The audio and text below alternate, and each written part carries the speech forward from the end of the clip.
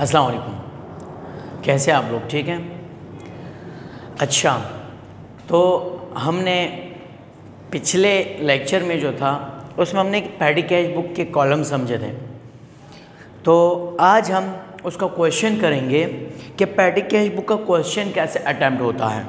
तो आज वो तरीका हम समझेंगे।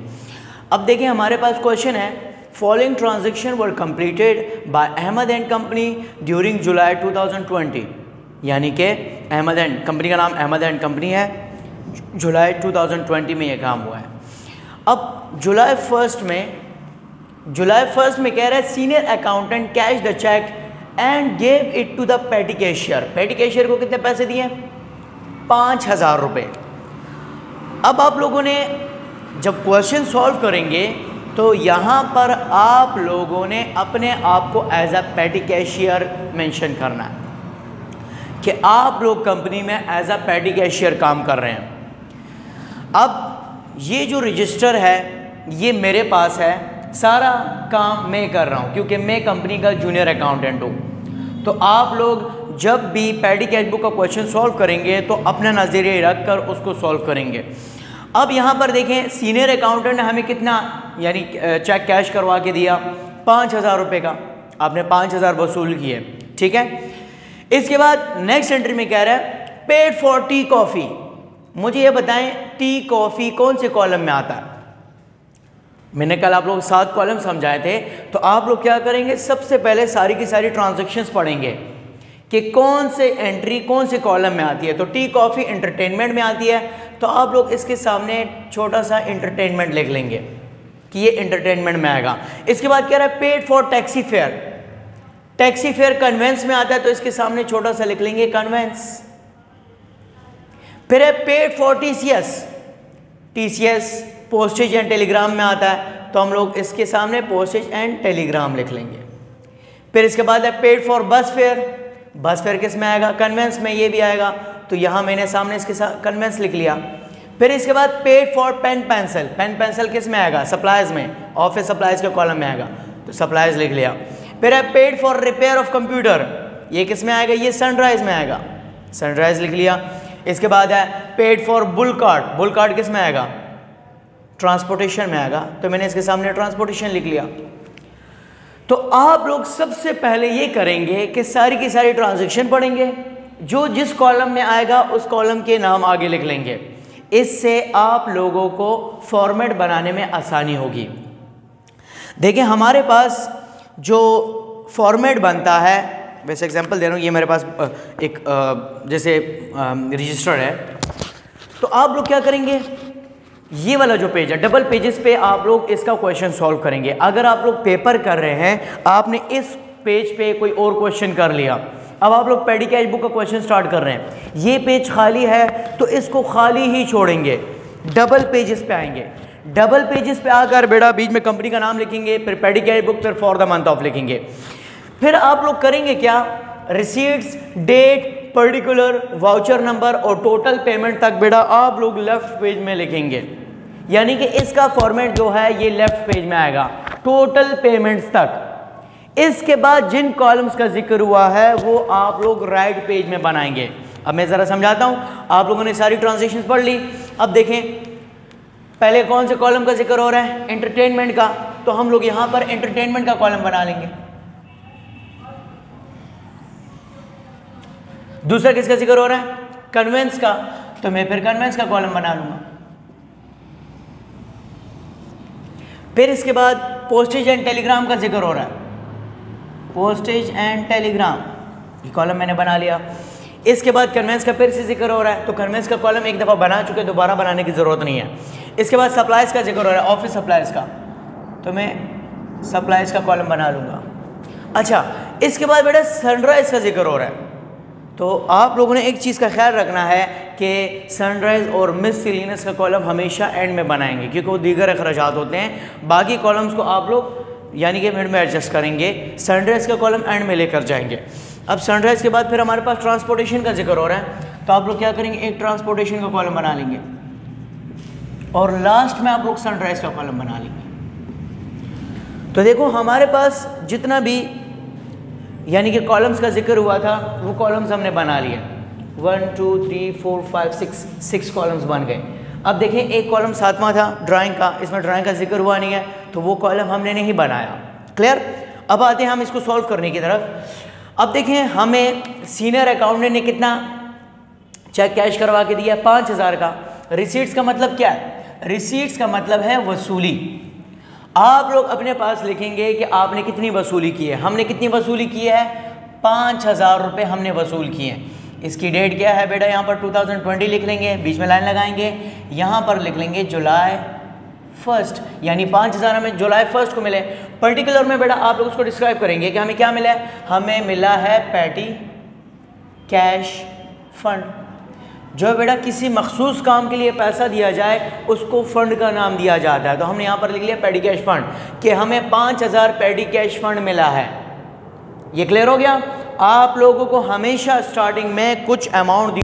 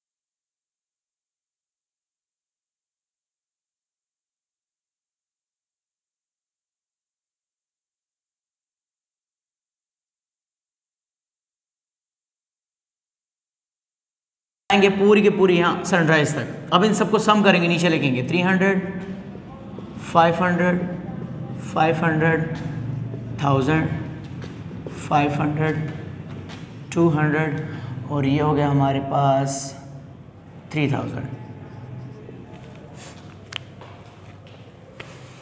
यहाँ तक क्लियर हो गया? आप लोग जब सारी कैलकुलेशन कर लें, सबको सम करके नीचे लिख लिया। अब आप लोग क्या करेंगे? हमने वसूल कितनी की है? पाँच हज़ार। टोटल पेमेंट कितनी हुई है? तीन हज़ार की। यानी हमने वसूल किए थे टोटल पाँच हज़ार रुपये हमने पूरा महीना अखराज चलाए तो हमें पता चला कि हमने टोटल थ्री थाउज़ेंड यानी एक्सपेंस यानी खर्च कर लिए। अब हमने जाके हिसाब भी सीनियर अकाउंटेंट को देना है। अब आपने हिसाब ऐसे बनाना है कि senior accountant petty cash book देख के पता चल जाए उसको कि हाँ इतने खर्च हुए हैं, इतने बकाया बच गए, अब मैंने इसको इतने देने हैं। आपको कुछ बोलने की ज़रूरत ही ना पड़े तो आपने कैलकुलेशन इस तरह करनी है। अब देखिए बेटा फाइव थाउज़ेंड में से थ्री थाउज़ेंड चले गए, बकाया कितने बच गए? बड़ी रकम में से छोटी रकम को माइनस करके बकाया छोटी रकम के नीचे लिखेंगे। पाँच हज़ार में से तीन हज़ार चले गए, कितने बकाया बच गए? दो हज़ार। आप लोगों ने ये जो दो हज़ार रुपये लिखे हैं, ये बकाया है ना, इसके बिल्कुल ऑपोजिट साइड पे लिखेंगे। जुलाई थर्टी फ़र्स्ट ये एंड में आप लोग करें, महीने के एंड में, ठीक है?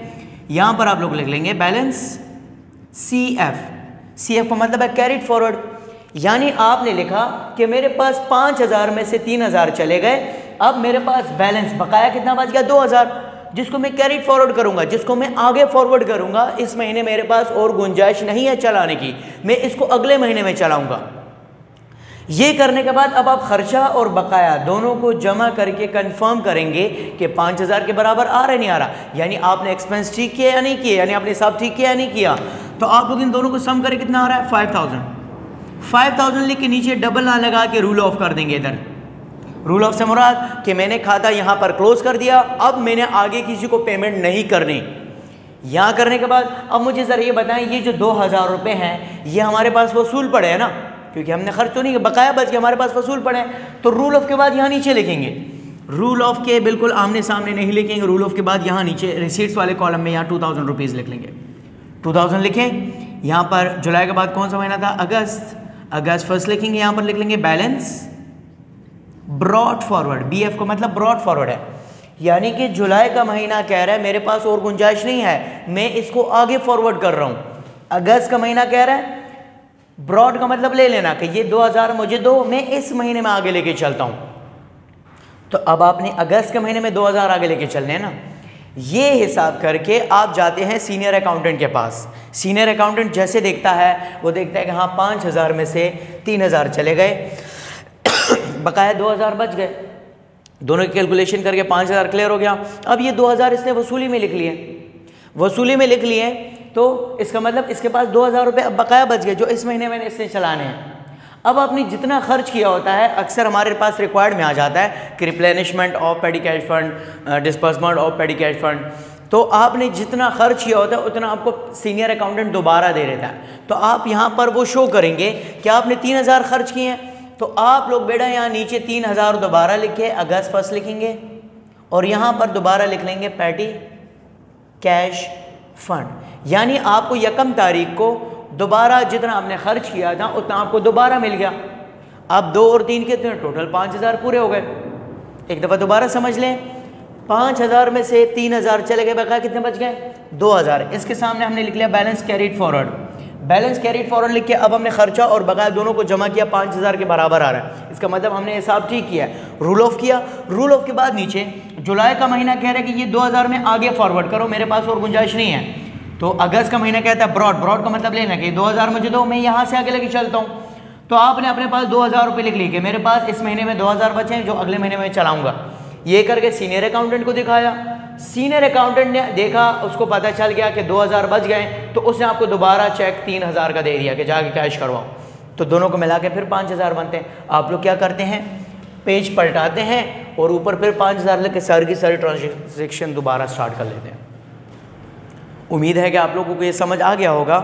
तो हमारे पास ये पैडी कैश बुक का क्वेश्चन था, जो मैंने आज आप लोग समझाना था। इन नेक्स्ट लेक्चर में फिर मैं आपसे मिलूँगा। तब तक के लिए इजाज़त चाहता हूँ। ओके, अल्लाह हाफिज़।